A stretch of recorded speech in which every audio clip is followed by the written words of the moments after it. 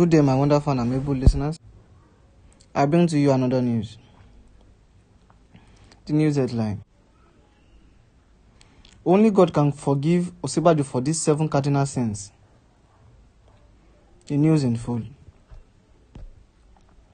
He is sleek, debonair, smart, articulate, cerebral, a natural choice for next president of Nigeria, if not that his duel with Mr. Muhammadu Buhari has totally ruined the economy and indeed the society. But aside that, he has committed seven cardinal sins that only God can forgive him for. I cannot, for I am not God. Any right thinking Nigerian equally should not. Pastor Professor and Vice President Oluyemi Oluleke Osinbajo, being one of the lucky few among us human who hears directly from God Himself, should therefore seek forgiveness and show contrition. I will list and briefly analyze those sins below. 1 push for further devaluation of the naira. Most Nigerians are bitterly complaining today about the high cost of everything in the face of their stagnant salaries for those lucky enough to have some type of job or the other, or declining sales for those in business because of the reality of inflation. Inflation on most staple items in, in Nigeria has been up between 300% and 500% since 2015. Salary has hardly been up since then, but some of our importer entrepreneurs have been able to increase their prices. Those who do hard work have not been as lucky. The inflation we face is motivated. Some come from intervention as a result of COVID 19. Government has been spending money to help a lot of people, thus, demand push inflation has happened. But most of the inflation is far from supply side.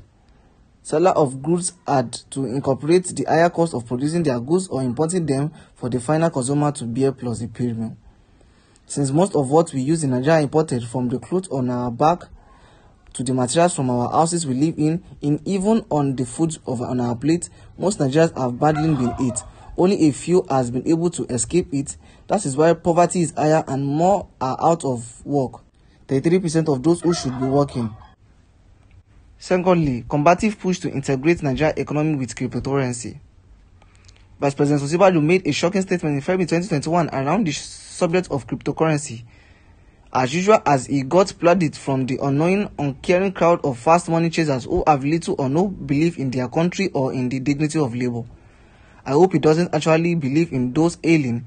The Central Bank of Nigeria has, like all other central banks, instructed local banks to entertain cryptocurrency transaction in a view of their tendencies to aid the maxing of corruption, criminal and generally black money, and the, and the fact that, well, that category of future assets is expected to cause the next global financial crisis.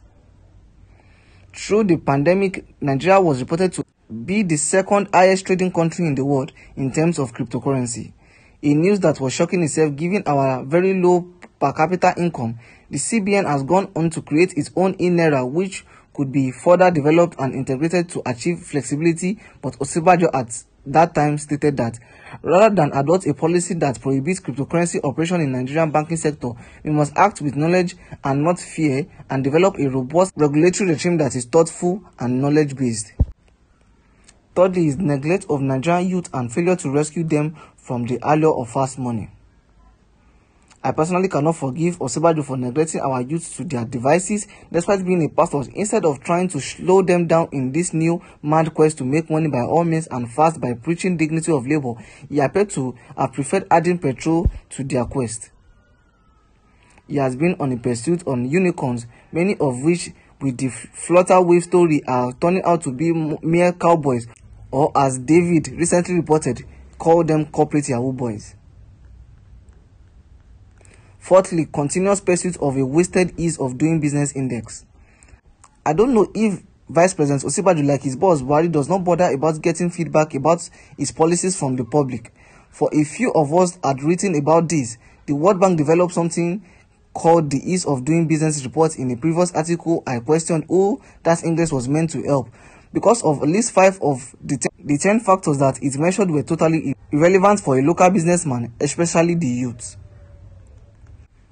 5. Unaccounted for tra TraderMoni projects. Regarding this one, I would like to cut Vice President some slack. I believe he is merely doing the job he was sent to do. I am hoping his office did not come up with the concept because even though I am a bit left of the center in economic leaning, I understand that our people need to be sometimes rescued or incentivized. I have always preached that we should try not to give something for nothing. I would have preferred a social transfer program that encouraged our people to say pick up trash in the community for money or that they should plant trees. But the TraderMoni and MarketMoni schemes I understand were unaccounted for and we have not heard of any repayment and I understand that the government did not get anyone's data that it ended up mere gimmicks to win the last election. As a senior lawyer, pastor and professor, the vice president should never have been associated with such a scheme that, that we have people asking questions. Never he will have to ans answer for this in the future.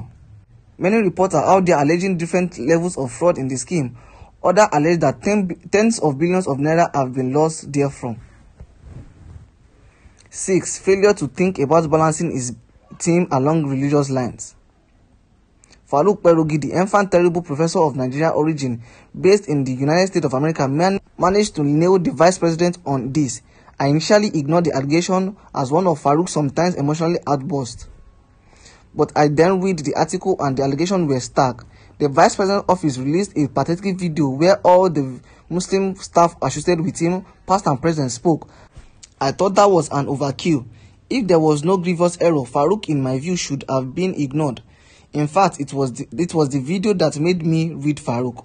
I found out that the vice president left it too late. He apparently never thought of the balance of staff in his team. He probably forgets that His is a public office that people talk a lot and we ask him to account someday. I found it hard to process his lining up with all pastor pals from appointment. In fact, it is not about our justification, it is his purification really. I have personal friends, some of whom are pastors in the Redeemed Christian Church of God, who believe that Osibajo was rather partial to only his family and personal friends. 7. No solidarity with the Kaduna kidnapped.